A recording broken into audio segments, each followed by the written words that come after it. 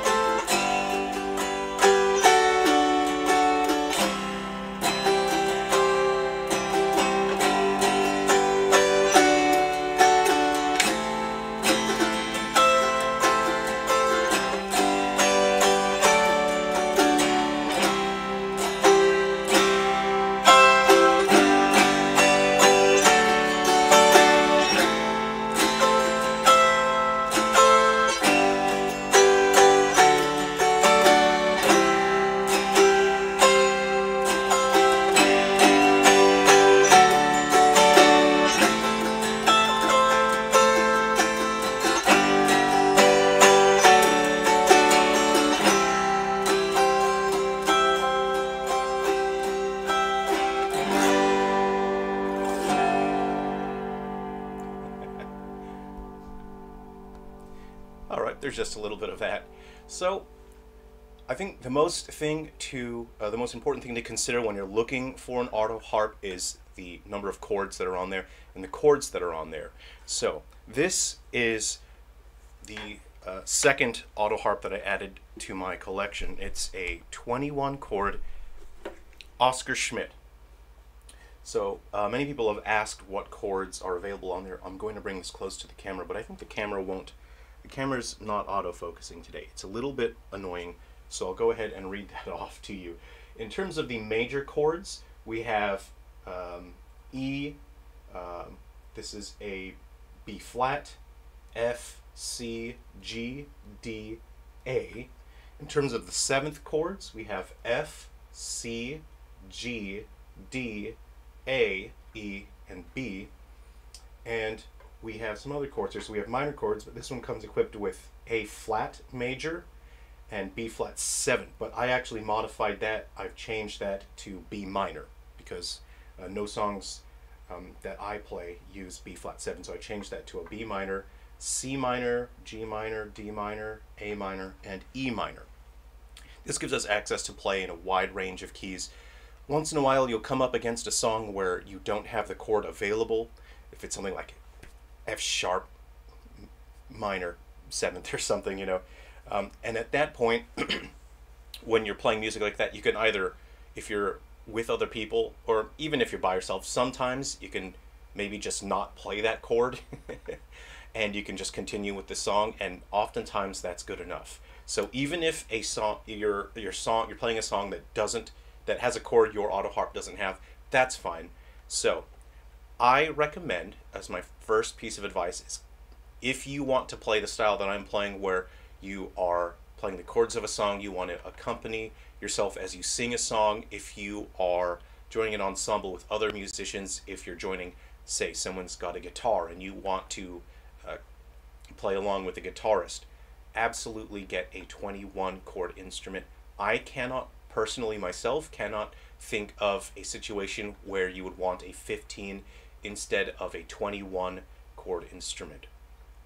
When you are first learning, it is a bit easier to learn on a 15 chord auto harp because there's less that uh, you have to navigate, but you're going to cross that river very quickly and you'll be on the other side wondering, oh, is that all that I can play on the auto harp? So this is my Oscar Schmidt 21 chord instrument. The first auto harp that I acquired is this Chroma harp, and this is a 15 chord instrument. And it's, I wonder if the, the lighting is okay there. No, it's, you can kind of see it a bit. There we go. So you can see the chords that are on there. I'll just hold that there for a second. But you have access to significantly less keys to play in because of the chords. For example, I, um, let's see, I don't, I think I may have modified this one to have B minor as well. Um, but in terms of the major chords, it's, uh, let's see, uh, they're scattered. The, the, the configuration on here is a bit more scattered as well. So in terms of the major chords, I have D major, uh, F major, uh, C major, and G and that's about it. I don't even have, I don't have an A major, I don't have an E major, I have E flat, which I modified to um, E minor. I'm pretty sure that's an E minor now. Well, let's see. Yeah. So I modified that to E minor. Um, but on this one I have uh, F7, A7, C7, G7, E7, D7. I have A minor, D minor, G minor, and of course I added that E minor there.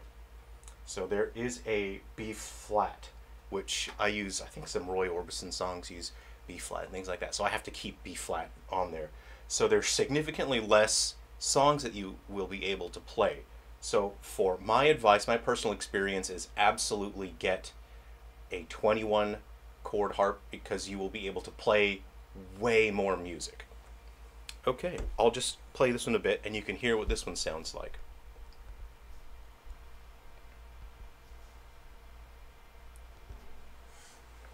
I have to remember where the chords are on this guy.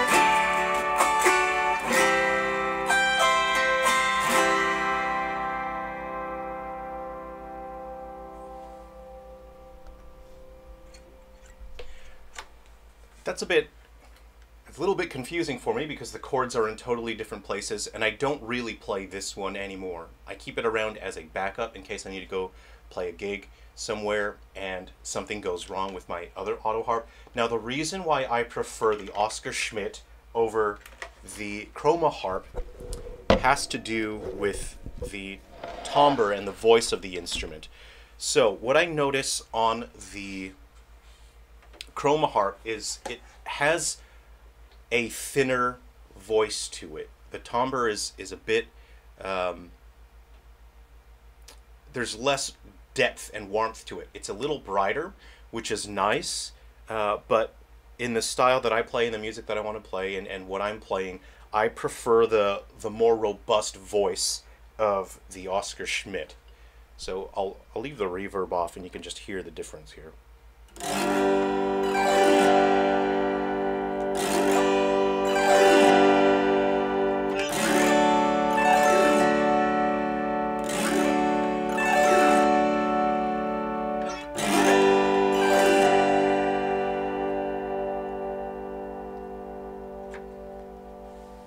So it's just more full bodied. It has a richer, deeper sound.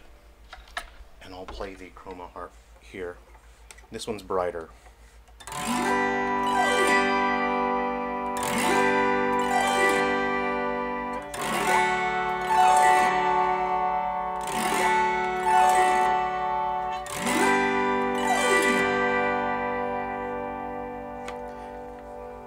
Now they're both good. They're both do the job just fine. But what I find is the back of the chroma harp, if I make contact with that even a little bit, it gets muted significantly. What I find with the Oscar Schmidt is it's more resistant to um, that sort of, um, I, I, suppose we would call it, um, tonal or timbral dampening. I can make more contact with ins this instrument and it doesn't really affect the tone as much as it does on the chroma harp. So me personally, I prefer the Oscar Schmidts, but it's best if you have the opportunity to find a music shop somewhere, if you can try that, that would be ideal for you to hear the difference yourself. Um, this thing, I, I just tuned it, but it's, it's, the humidity's been so weird, it's a little bit out of tune at the moment. So most what's most important next, uh, we will look at getting a modern auto harp. So my second piece of advice, which is going to be extremely important piece of advice, is don't get an antique auto harp. Get a modern style auto harp. Now, older uh, auto harps, you'll find them for sale quite often, especially on sites like eBay. They may look all right in pictures, but they are not designed to play in the vertical style. They're meant to sit flat. Now, what really caters to playing in the vertical style is the edges are rounded here, which means you can set that on your lap. As you can see, I need to have this at an angle in order to properly access um, all the different components of the instrument. And there is space here. This area here is where you are striking the instrument. Older style auto harps were not meant for you to strike there they were meant for you to strike there. So on an older instrument, you will find uh, space down there. But let's just see what it sounds like down there. You have a much harsher, stronger attack when you play down there.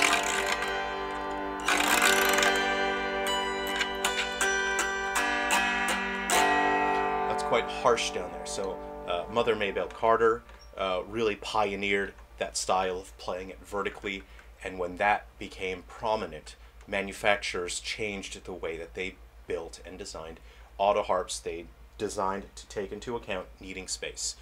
I personally would prefer more vertical space for these high strings because it gets uh, really close to that peg there.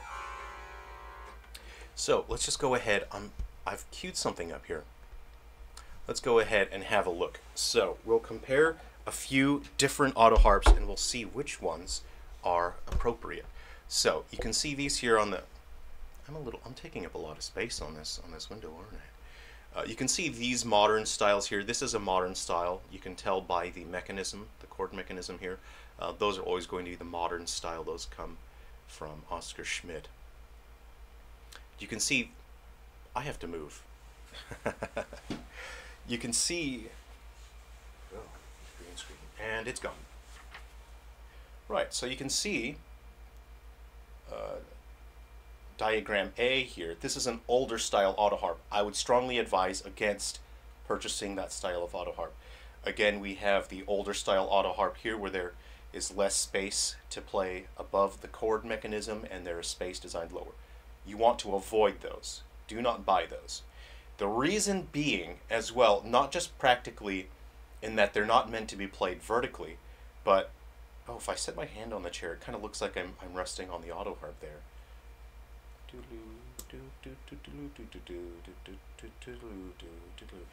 Right, so the reason being why I advise against, oh, Bryan Bowers, hello. Um, the reason being why I advise against purchasing an older auto harp is that older auto harps are going to have damage on them. These instruments are often um, stored in sheds or barns when people lose interest in them. And so these things have been around for decades. And when they have damage, it's not worth it. In terms of what you will pay, in order to have the instrument repaired and have the strings replaced, it is not worth it. You can just buy a newer auto harp that is in very good condition for cheaper than what you can get an auto harp repaired for.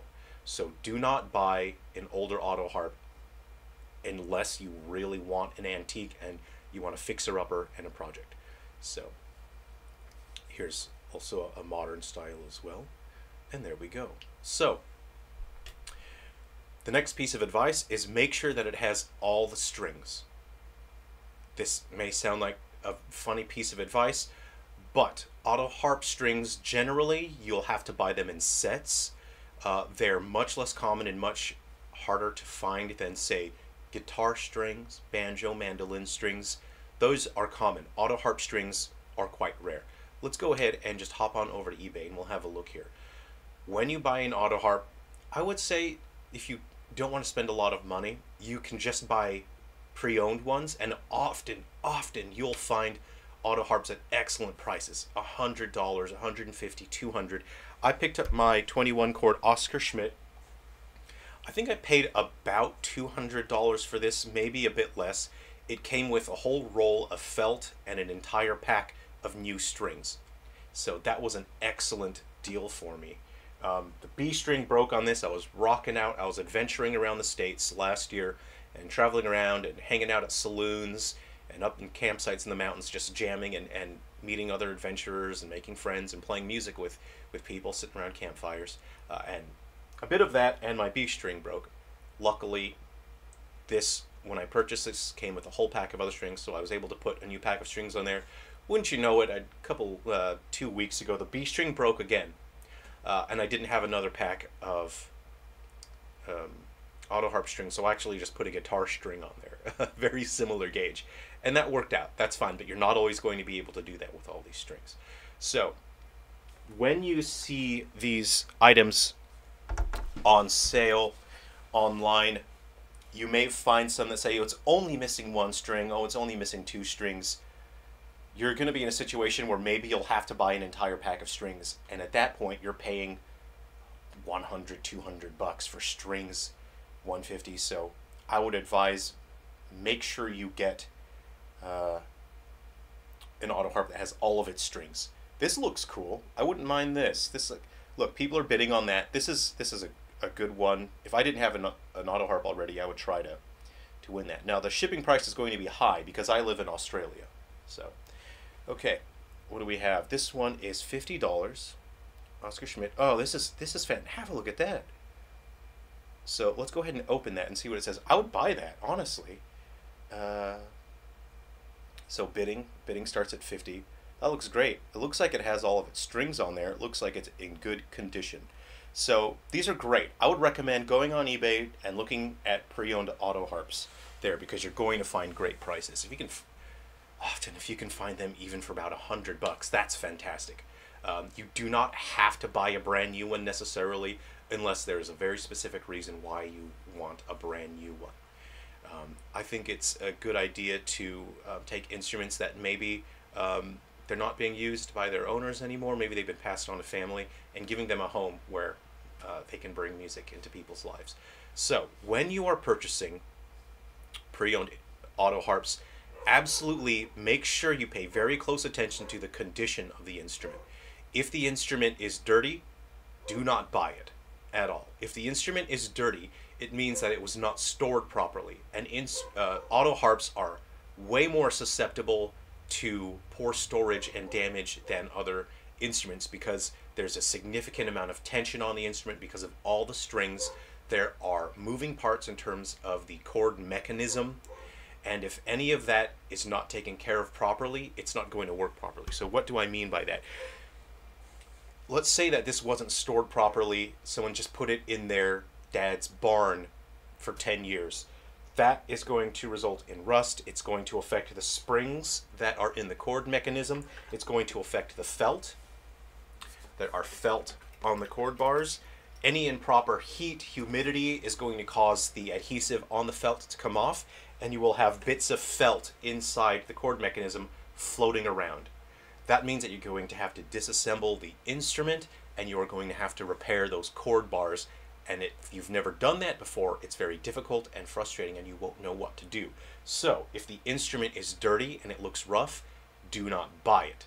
Buy an instrument that looks like it is in good condition because if it's clean, that means that it has been taken care of and it most likely was not stored in a barn. If it comes with a case, that's even better because in general if they're stored in a case it means that they were probably stored in a better place they were taken better care of. And it also means that if it comes with a case you will be able to take it to gigs and keep it safe and travel around with it.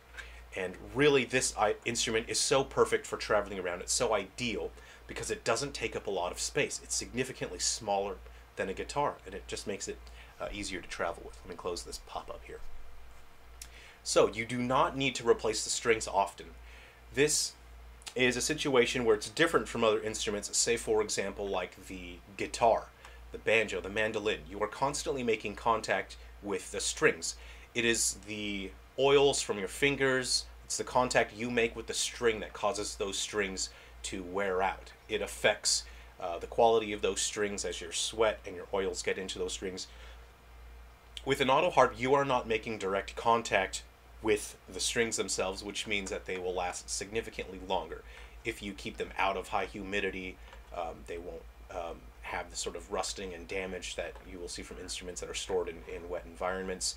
So, because you use finger picks to play this instrument, um, the strings will last significantly longer. You should really, my advice is really just only replace the strings as they break. There's really no reason to where you'd have to replace all of the strings because these instruments will keep working just fine. You can play fingerstyle if you want, that's quite soft, but if you do that, then you're going to have the same issue in terms of the strings wearing out and losing their sparkle, then you'll have to replace them more often. If you play them with just your fingers, that's fine if you want a nice soft sound, if you're sitting up late at night, but you're going to have zero projection and your notes are going to get quite muddy. It's going to make it harder to get a clear uh, sound out of the strings if you're playing just the finger style and it's not it's not going to sound as good as you think it will. You can try that, and to you because your ear is right there, it's going to sound fine. But to anyone else, if they're sitting more than a couple feet meters away from you, they're barely going to hear anything. And it's going to be quite muddy. So.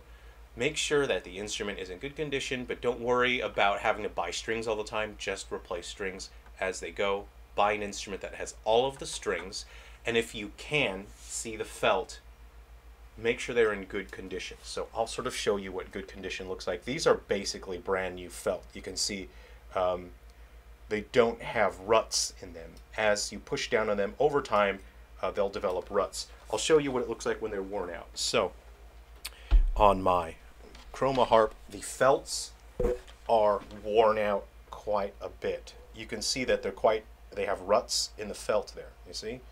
So at some point I'm going to have to replace this uh, felt. I'll have to redo the whole thing. So I'm a little bit, um, I don't really have much of a reason to play that anymore, especially since I have to push very hard. Once the felts start wearing out, you have to push harder and harder on the chord bar. If you can see the instrument in person, if you can go to a shop, make sure that all the buttons depress and return without any problems. You can see that they should spring right back up as you push them if one gets stuck, maybe try and find a different auto harp. Because if you are not um, handy with repairing instruments, because this is a mechanical instrument, there are springs in there uh, that push the chord bars back up. If you aren't handsy with repairing instrument, I mean handy, not handsy. You know, uh, uh, if you aren't handy with repairs, then having a stuck uh, chord bar is going to be a big issue. Just make sure that they return to place. In general, you'll, you'll only see them get stuck again if they've been stored improperly or if this thing has been played, you know, like someone with big mixed sausage fingers, you know. So, when you are purchasing an auto harp, sometimes they'll come with tuning keys, sometimes they won't. Very easy to get tuning keys, so don't worry about that. But when you do get your auto harp, make sure that you order a tuning key. In general, they're all going to use the exact same size in terms of the diameter of the bit there for the tuning pegs. So just search online for auto harp uh, tuning key and in general they'll do the trick. I always use the T-shaped ones. I don't personally like the ones that come off at an angle because you're applying perpendicular torque and force to a peg and you can bend it and damage the instrument. I don't mean bend the peg, but bend it in its position. You can tear up the a hole that it's in. You'll also need finger picks. I strongly recommend uh, using finger picks. You'll find your personal preference. Uh, you'll find many players, um, old, especially the old time players, will use all metal picks. For me personally, I use two um, plastic picks, especially for your thumb, uh, because I really want to dig in there and get a good strong strike with the thumb pick because I don't play amplified. I play in situations where I'm just acoustic, and at that point you'll have to really hit the strings a bit harder. You'll have to strike them a bit harder, and if you are using metal, you're just going to get a really terrible clattery sound that's just a bit unpleasant. So I use uh, plastic for these to soften that attack and make it more pleasant. I lately have been using metal on the middle finger, so when I reach higher up to play at the higher register, you get a bit more brightness and sparkle to it. So that's it for the important, very most important details. I'll just get into detail um, with a, a, bit more advanced stuff. This is just a little bit more in detail now. So there are basically two different kinds of harps. There are chromatic and diatonic. These are chromatic harps. They are suited for accompaniment and playing ensemble, which means they're really just meant to play chords. These instruments are just meant to play chords, but you can play them more expressively. You can um, sort of get across the identity of the melody and the rhythm with these instruments. Um, so as long as the music um, isn't written in such a way to where it's not feasible, you can play melodies on here, but it's significantly harder. Um, but these are ideal for again accompaniment. If you want to sing a song and back yourself with some chords and patterns, then you want these chromatic. Both of these are chromatic. If you are joining other musicians like um, guitars and banjos and whatnot, and everything's quite loud, you can bash chords on this and it's fun. These are great for campfires and whatnot. So you can play these quite hard. Diatonic harps are significantly more rare, but they are better suited towards playing melodies. In fact, they're really designed specifically to play in one particular key. Uh, but what they do in one key, they do very well. They let you play melodies and whatnot. Uh, but you're going to need a bunch of diatonic harps uh, in different keys if you're going to play different songs and if you're going to play with other musicians. You can always transpose songs into a key for a diatonic harp, but that means that you will have a very difficult time uh, playing along with other musicians, especially if you want to jam with a guitarist. Um, and they don't make capos for men like me. I'll just say that. So um, I generally will just stick to these uh, this auto harp because it has such a wide selection of chords, and I can play along um, with other musicians. So I hope this has been all useful to you. I didn't realize I left that background on there. It's kind of kind of a dull background, isn't it?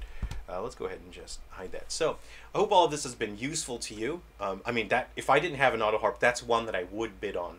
Um, starts at fifty dollars. Uh, it's going for six days. So yeah, the, you'll you'll find some good instruments on there. So okay, I hope that was useful to you. This video's run kind of long, I think. So um, yeah, I hope that you're all doing well. And if you have any more questions, please feel free to put them in the comment section below. I'm working on more videos to help people learn auto harp and get started and share my tips with them. Uh, and please keep in mind, again, I'm only one source of information. This is my opinion on um, purchasing an auto harp. So please do not take my word as the one and only. You should never ever do that. Take my information on board and just understand that this is coming from one person uh, seek out more information and uh, collate information from different sources, put them together in a way that makes sense to you. So uh, I hope that you uh, do pick up an auto harp and you have a great time with it. Uh, please take care of yourselves. Be well. Come home again soon, and I'll keep the porch light on.